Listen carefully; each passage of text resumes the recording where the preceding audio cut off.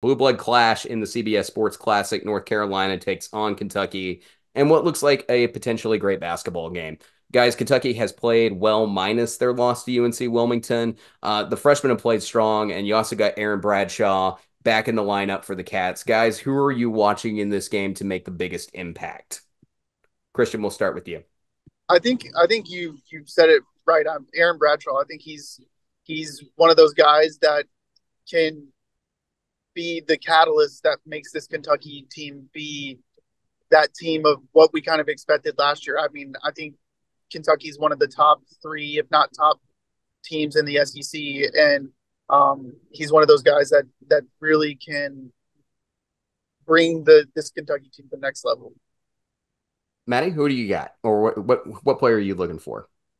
Listen, I'm sure everyone is tired of me saying it, but Adou Thiero has been amazing for Kentucky once again. His growth this year has been undeniable, and I think he's going to give you know RJ Davis a run for his money if they put him on him. Um, just the similar styles of play, but I I think Adou Thiero is going to be able to outclass him a little bit.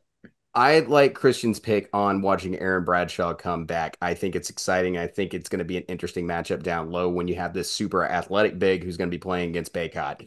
Um, so that one's going to be interesting to me from a matchup standpoint. I, am still big on Reed Sheppard this season coming off the bench. I think he's a dynamic shooter and someone who plays with a lot of energy when he's on the floor with a high ba- a high basketball IQ.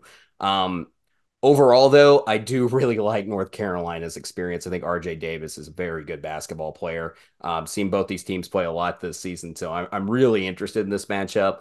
Um, but I also think you guys know who I favor when it comes to youth versus experience. All right.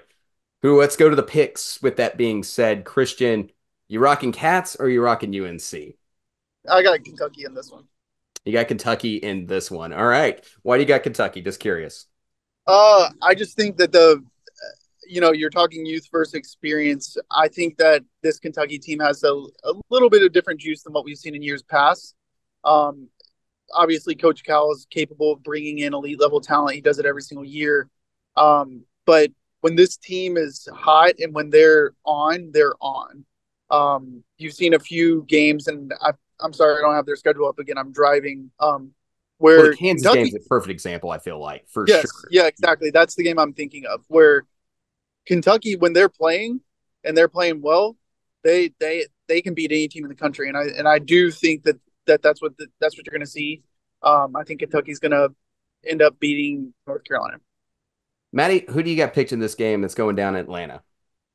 I'm gonna go Kentucky as well. Um, if I am correct, and I can't remember which players, but there are a few Kentucky's players that this will be a hometown game for them. So I feel like the fans are gonna show up and show out uh, down in Atlanta, I believe.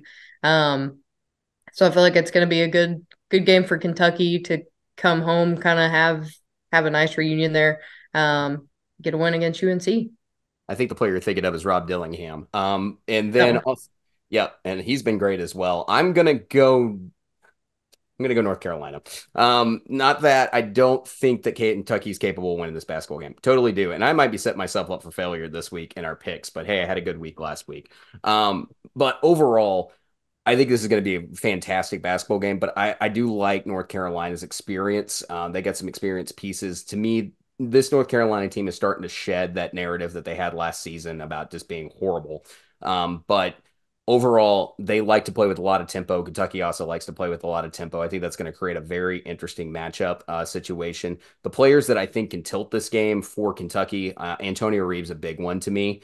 Uh, if Antonio Reeves has a big game, I think he could be huge um, with the experience that he has on the floor. You just got to make sure the right guys get the ball in their hands uh, in late game situations. And I think that's going to be one of the things that decision making factor time might be the difference in this one. Kentucky's still growing up. They're going to be dominant. They're going to be a very good team to deal with in conference play because they've had the opportunity to face a lot of competition. Um, but right now, until they do it, I'm probably going to go with the other direction for a little while and then I'll be proven wrong. This might be it, but I'm going to pick North Carolina in this one just because you got a couple more guys who know how to make the late game decisions to get a win. So I'm going to rock North Carolina in this one. I'm waiting to be wrong in this one because I think Kentucky's really, really good, and I think both you guys make excellent points on Kentucky's on Kentucky's side.